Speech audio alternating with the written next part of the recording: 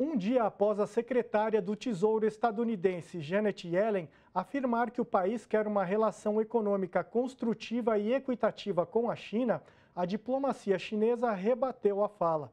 Para o porta-voz da diplomacia de Pequim, Wang Wenbin, o governo dos Estados Unidos atua para privar o direito chinês de desenvolvimento e salvaguardar sua própria hegemonia.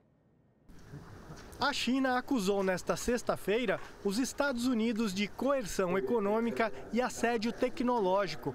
A declaração foi feita pelo porta-voz da diplomacia de Pequim, Wang Wenbin, em resposta à possibilidade de Washington voltar a restringir os investimentos estadunidenses em algumas áreas consideradas sensíveis, em plena rivalidade com o gigante asiático.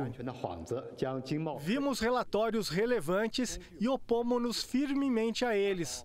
Os Estados Unidos estão acostumados a politizar, instrumentalizar e armar questões econômicas, comerciais e tecnológicas sob o disfarce de segurança nacional. Eles fizeram um grande esforço em direção a pequenos pátios e muros altos, forçaram desacoplamento e quebraram correntes, e até tentaram coagir economicamente aliados às custas de amigos para o autoenriquecimento. O verdadeiro objetivo dos Estados Unidos é privar a China de seu direito ao desenvolvimento e salvaguardar sua própria hegemonia e interesse próprio. Isso é coerção econômica nua e crua e intimidação tecnológica.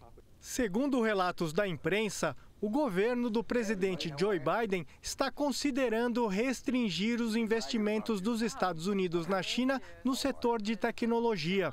A China, que busca se tornar autônoma na fabricação de semicondutores, acredita que essas medidas visam a manter a supremacia estadunidense nesse setor, o que Washington nega. Um dia antes, a secretária do Tesouro estadunidense, Janet Yellen, afirmou que as medidas adotadas são ações de segurança nacional e negou qualquer busca por vantagem econômica competitiva ou sufocar a modernização econômica e tecnológica da China.